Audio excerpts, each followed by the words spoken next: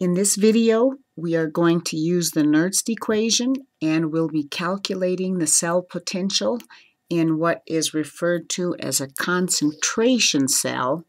And what that means is we have the same metal anode and cathode and the same metal in solution. And the dissolved metal in solution is prepared at two different concentrations. So for example, I'm going to use copper.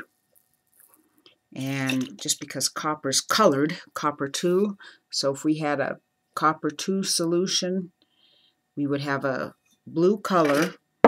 A 1 molar solution would be dark blue.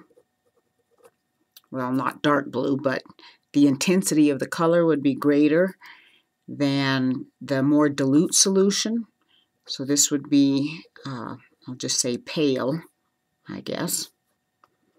So if we recall the Nernst equation, we can calculate the cell potential at non-standard conditions, and that is E would be the E cell at the standard conditions minus 0.0592 divided by the number of electrons transferred in, and that's a volt,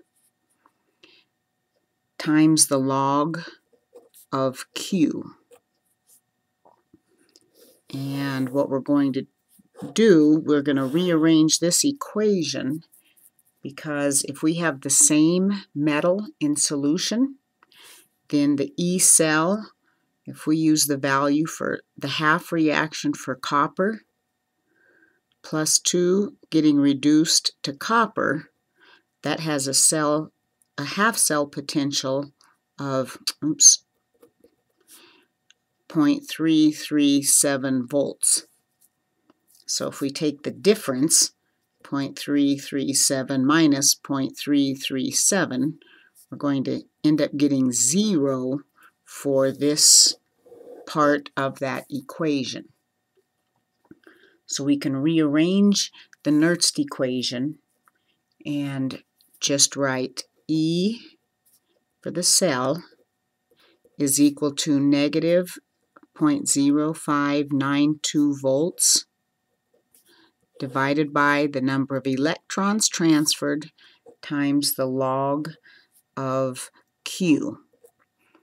And if we think about which direction the universe is going to proceed, more or less, uh, the concentration, we're going to have copper plus 2 going uh, to copper plus 2. I know that looks like it doesn't make sense, but the more concentrated solution is going to end up becoming more dilute because nature always tries to come to equilibrium. And so our product will be the more dilute solution and our reactant will be the more concentrated solution. So the when the reaction comes to equilibrium, so I'll just write that, at equilibrium, both uh, half cells will be the same concentration. And again, that's just what the universe does according to the laws of thermodynamics, comes to equilibrium. And so we can simplify the Nernst equation for a concentration cell, and again, that's a galvanic cell made of the same metal in solution but at different concentrations. So we could rearrange this and write E cell is equal to negative 0.0592 volts. Remember this number 0.0592 comes from combining lots of uh, constants. And we can write log, and then since the dilute the concentrated solution is going to become more dilute then the log of the dilute divided by the concentrated solutions is what the Nernst equation simplifies to. So we'll go ahead and calculate this for the example that I gave above. And that was if one of our beakers, if we were making our solution in a beaker, one of the beakers would have a 1 molar solution and the other beaker would have a 0.001 molar solution. And if we plug that in, we can calculate the potential for that. So we'll go back up to here and rewrite the Nernst equation. E cell is negative 0.0592 volts divided by 2 in this case because two electrons are going to be transferred and that would be the log of 0.00100 divided by 1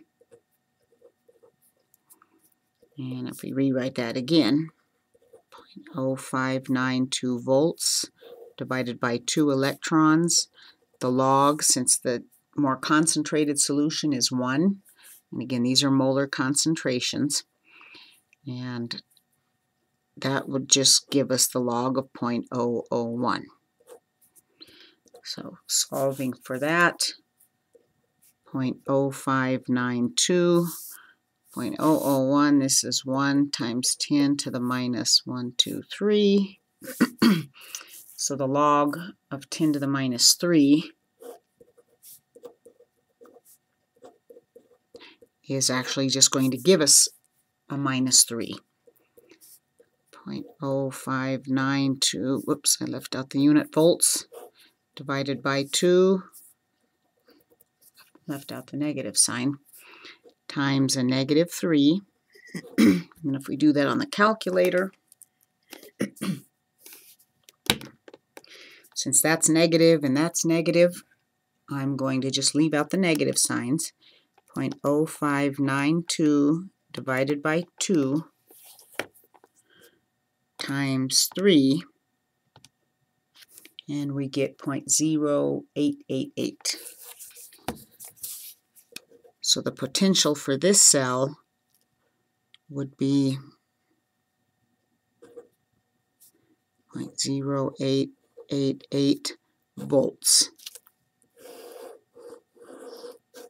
And that's a relatively small value, but again, we're using the same metal, so the term that we would normally obtain using the Nernst equation, if we had two different metals, we would have a standard potential, which would be the difference between each half cell reaction.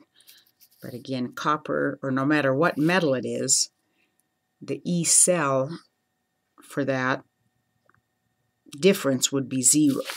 So our first term is 0 right here. And so just the non-standard condition potential shows up.